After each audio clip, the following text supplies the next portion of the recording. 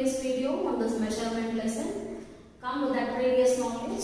We will move into the next topic. How we can measure length.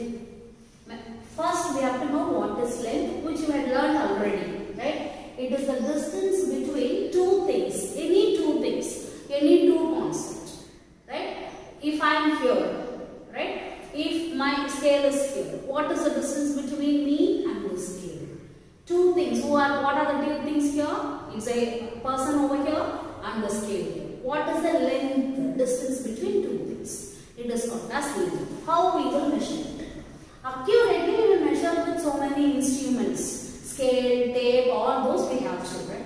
But in our traditional way, we have so many other units also, which is an approximate quantity. Right? First we will have hand span. Say the word hand span. It is the length between tip of the thumb to tip of the little finger. Like this children. We will say no children, or jan. Like that in Tamil we say, right? So from the thumb, tip of the thumb to the tip of the little finger. So this distance is called as hand span. Right? Now we will come to cubit. Cubit is is the distance between tip of the middle finger and the elbow. Right. Now you see. When we outstretch my arm, the distance between the middle finger tip, it is the longest finger, to our elbow. Right. This distance. We use this in our uh, flower shops, no, or model pool like that we will measure, no. So that type of measurement is called as cubit. Outstretched way, if we outstretch our arm, the distance between the middle finger, the middle finger to our elbow. That, that is called as what? Cubit. Then we have one other uh, unit called fathom. Fathom is nothing but length of outstretched arms. So there is a picture in your book on page number, page number uh, 18. You can see that picture. If I stretch my hands like this, right? Arms. From this point, tip to this tip, this hand's tip. So what is the total distance? That is called fathom. F-A-T-H-O-M. These are all very rough approximate units only children. They are not very accurate. A random unit which we use in our common life. Right? Now, when we are measuring any uh, length, there are some few tips we need to follow. First one, we have to for avoid one error called as parallax error. Say the word parallax. P-A-R-A-L-L-O-X. Parallax error, no children. Now I will tell you a small activity. Do it with me. See your scale. Place your scale right in front of you. Right? Now close one of your eye and see it. Right? Then take your hand and see with the next eye. Right? See one value in your scale. Now you can see that particular value will be displaced or moved by a little number. One another thing else. Keep your scale here. Keep here and see one value. And move the scale towards this side and see one value. Now if you do like this, you cannot go with your accurate value. When you can get the correct value, if you see your scale in front of you and if you see it with correct two-eye view, then only it is correct. Now if you see like this or this one eye closed, that one error will come now. That error is called as parallax error. Error due to wrong position of our eye. Can you write it again?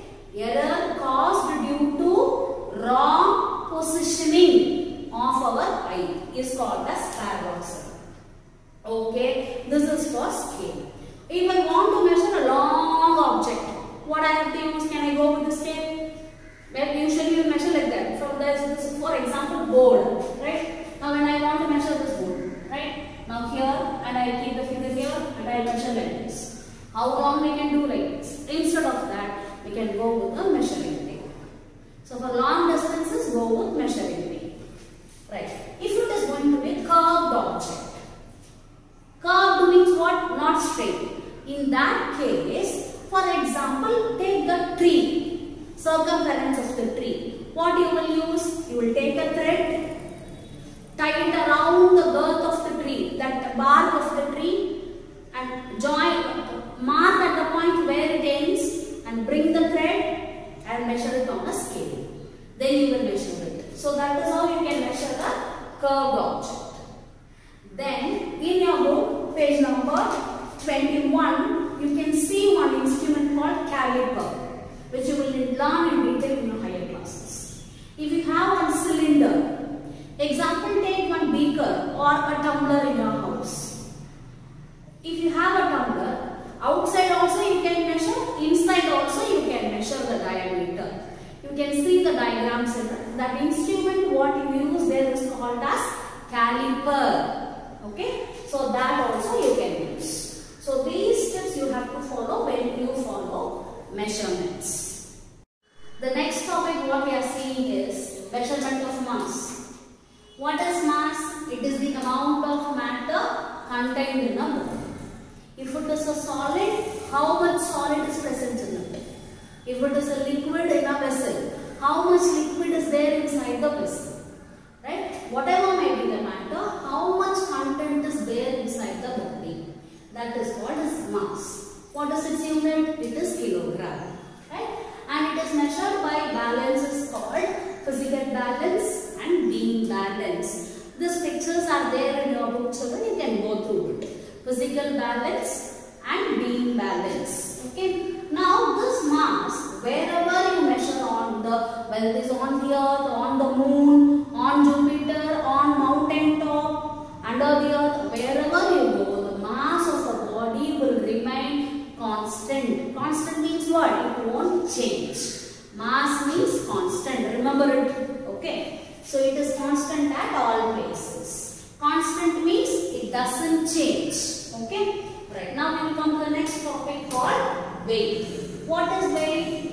We know few forces which you had learned in your uh, first uh, videos, right? There are four types of forces, gravitational force, electromagnetic force, nuclear forces and all. In that, every body will be acted upon by gravitational force given by the earth. Yes?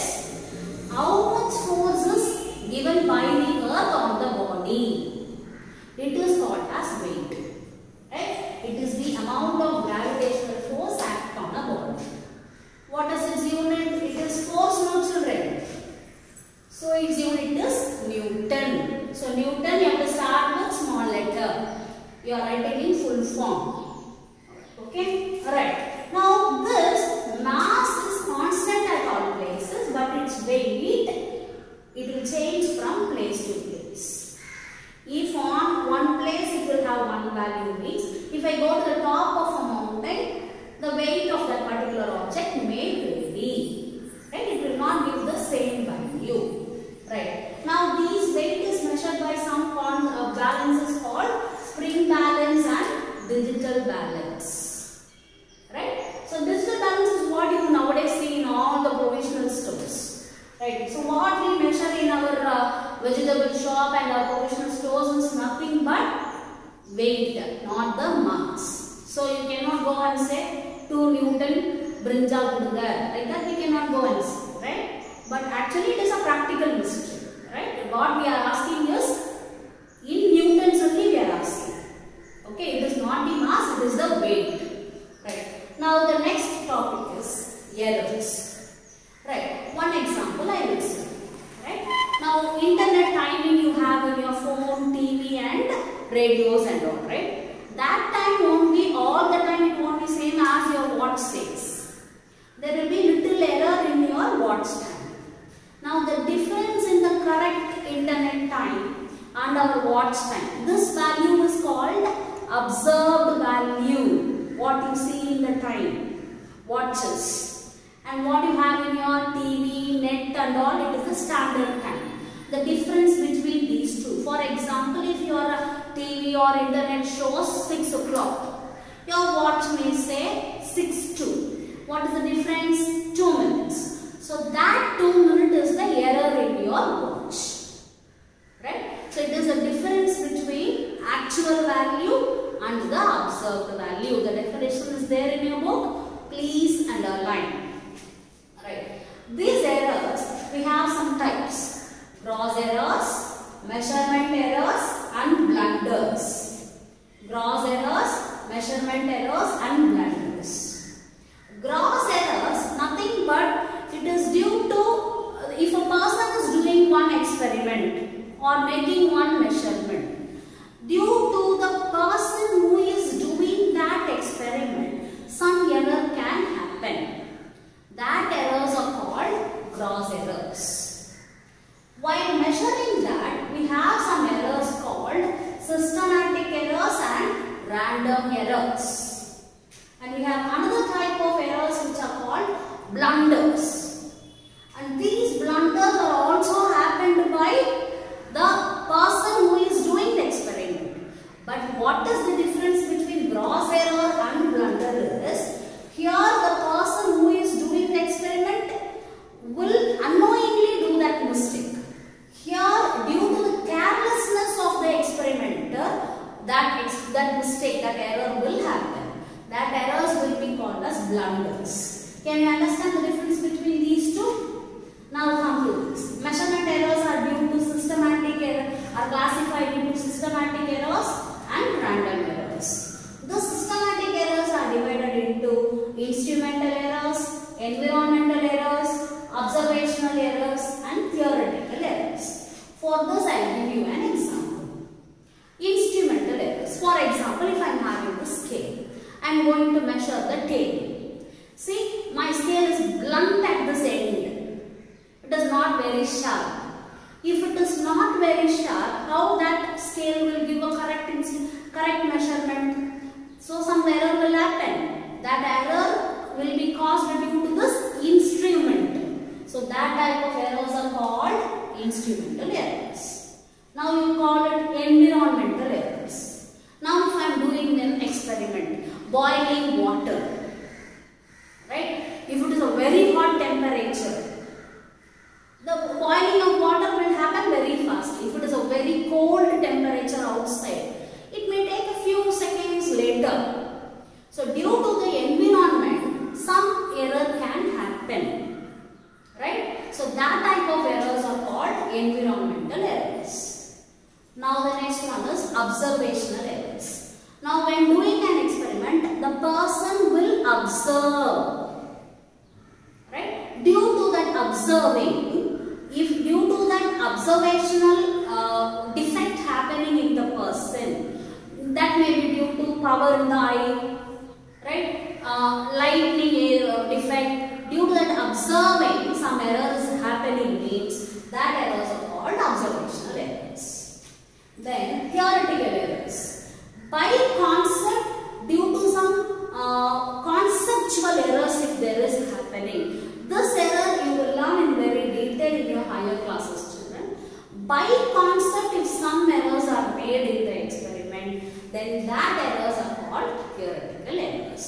So this flow chart very important learn it and the corresponding definitions are given at the side of your book at page number noted down children page number 25 okay side to the left of it definitions are given mark it learn it we will meet in the next class. Thank you students